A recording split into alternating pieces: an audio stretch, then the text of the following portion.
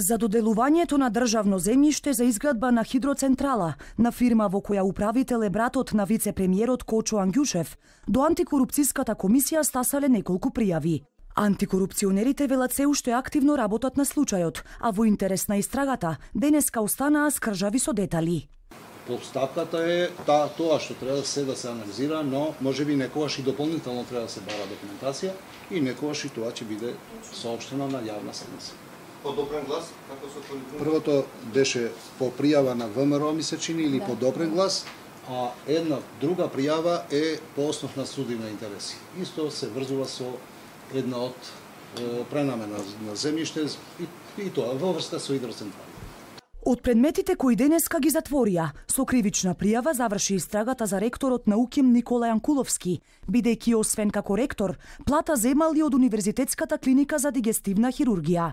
Кривична одговорност ќе се бара и од директорот на клиниката, бидејќи на Јанкуловски му овозможил да се стекне со материјална корист, која според антикорупционерите не била мала. Па да, во висина на плата.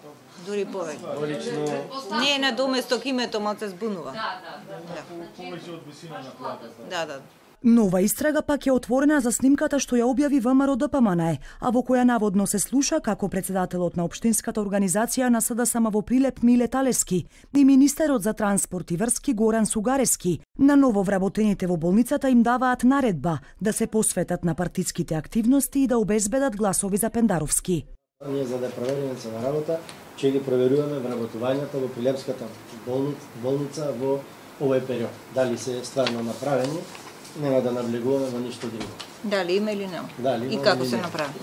Антикорупционерите го подсетија Сугарески дека државниот секретар на неговото министерство еднаш бил осуден за злоупотреба на службената положба, па иако во моментов не најдоа законски нерегуларности, сепак го посочија како ризик за корупција и злоупотреби, кои ако се повторат, одговорност велат ќе сноси и самиот министер.